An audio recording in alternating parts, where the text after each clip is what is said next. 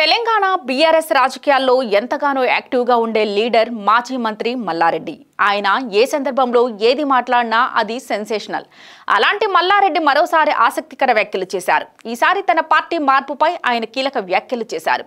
గతంలో తెలుగుదేశం పార్టీలో కొనసాగిన మల్లారెడ్డి ఆ తరువాతి పరిణామాలతో బీఆర్ఎస్ పార్టీలో చేరారు. ఆ ప్రభుత్వం కేబినెట్లో మంత్రిగా కొనసాగారు. దాంతో అప్పటి నుంచి ఆయన ఏదో ఒకటి చేస్తూ మీడియా దృష్టిని ఆకర్షించేవారు. డాన్సుల్లోనూ స్పీచ్ల్లోనూ ఆసక్తికర కామెంట్ చేస్తూ పతాక శీర్షికను చేరేవారు.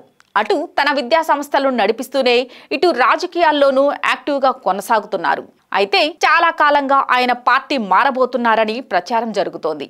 ఈ క్రమంలో తాజాగా ఆయన చేసిన వ్యాఖ్యలు ఆసక్తికరంగా మారాయి. నిన్న తిరుపతికి చేరుకున్న మాజీ మంత్రి మల్లారెడ్డి కాలినడకన కొండపైకి చేరుకున్నారు. ఈరోజు తిరుమల తిరుపతి దేవుణ్ణి దర్శించుకున్న అనంతరం మల్లారెడ్డి మీడియాతో మాట్లాడారు.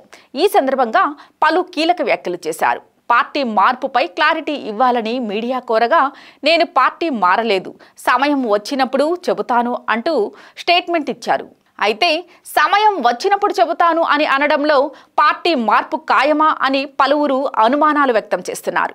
మల్లారెడ్డి ఆ వ్యాఖ్యలతో ఆగిపోకుండా అటు చంద్రబాబు పైన ప్రశంసల వర్షం కురిపించారు.